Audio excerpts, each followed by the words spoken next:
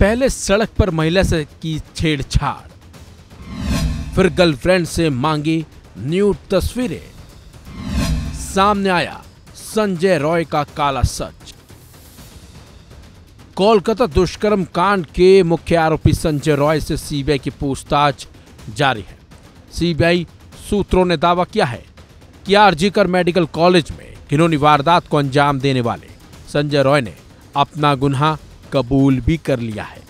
पूछताछ में संजय रॉय ने उस काली रात का जो घिनौना सच और राज खोले, उसे सुनने के बाद सीबीआई भी दंग रह गई। संजय रॉय ने बताया कि वारदात वाली रात वो रेड लाइट एरिया भी गया था।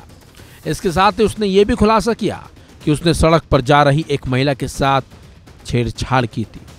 खास बात तो यह है कि उसकी ये हरकत सड़क पर लगे। सीसीटीवी कैमरे में कैद हो गई थी।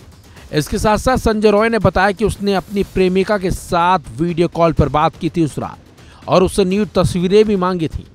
इंडिया टुडे के मुताबिक 8 अगस्त को संजय रॉय ने अपने दोस्त के साथ आरजी मेडिकल कॉलेज में वो गया था। इसके बाद उसने अपने दोस्त के साथ सड़क पर ही शराब पी थी, और फिर शराब पीने के बाद सड़क पर जा रही महिला के साथ छेड़छाड़ की थी। संजय रॉय वापस अस्पताल भी आ गया था।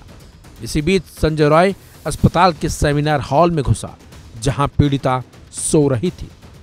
इस दौरान इसने महिला डॉक्टर के साथ दुष्कर्म किया और फिर उसकी जान ले ली थी। सीबीआई सूत्रों ने बताया है कि संजय रॉय और उसके दोस्तों की मौजूदगी, उनके कॉल डेटा रिकॉर्ड के ज़रिए स्थापित हो गई थी।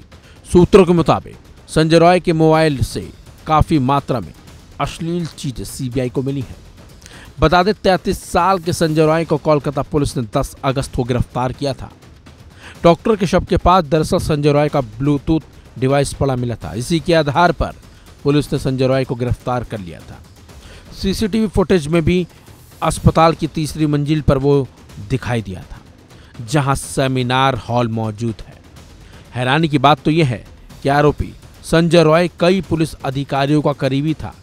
इसी से माना जा रहा था कि आरोपी को बचाने की पूरी कोशिश की जा रही है। और इसी वजह से कोलकाता हाईकोर्ट ने 13 अगस्त को इस पूरे मामले की जाँच को कोलकाता पुलिस से लेकर सीबीआई को सौंपने का आदेश दिया था।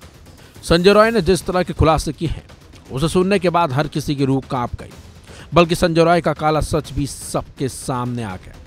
अब लोग सिर्फ़ और सिर्फ़ आरोपी को फांसी दिए जाने की मांग पर अड़े हुए हैं।